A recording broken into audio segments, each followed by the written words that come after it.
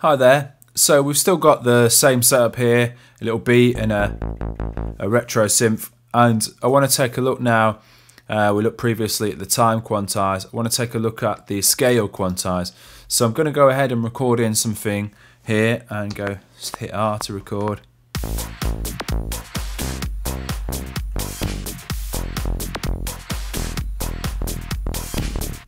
Okay, so recorded in a basic sequence there.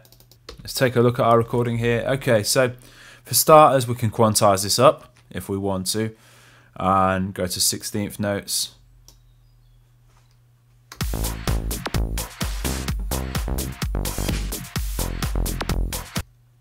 And take that swing off.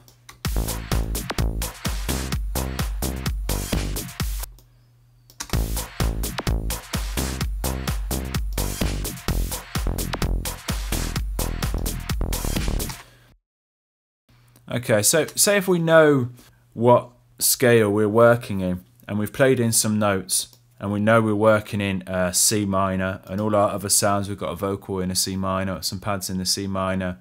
We have a scale quantizer that can snap those notes to that scale very quickly. So all I do in here is I set my scale and say we'll look at this. I probably played this in A minor. We can highlight all of these and and just set your scale. So whichever scale you're working in say C natural minor hit quantize. And it then quantizes the notes to the C minor scale.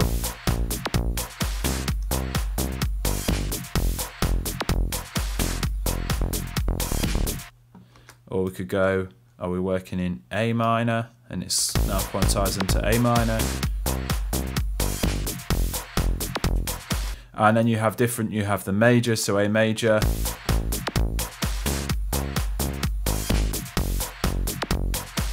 and all the various different scales that you can snap your MIDI notes to very quickly. Another thing I love about the scale quantize here is, so if I delete these notes now, and I've set a scale quantize of A natural minor, if I now use my brush tool it will snap the notes to the A minor scale. So you notice as I'm dragging down, it's missing some of these notes out. It's missing all the notes out that aren't in the A minor scale. So you know, you can set your scale here, C major, use your brush notes. We'd had 16th notes before. Let's change this setting now to quarter notes. And Let's get our brush tool up again. And we can just draw in a little MIDI region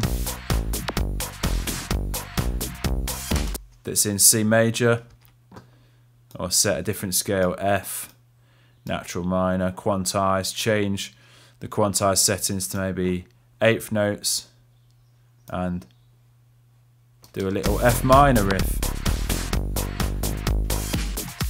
Uh, I quite like that feature. It's quite a cool way of just getting some hooks in using the brush tool very quickly and in combination with the time quantize or maybe even applying some swing settings then you can very quickly get some quite cool little MIDI hooks down.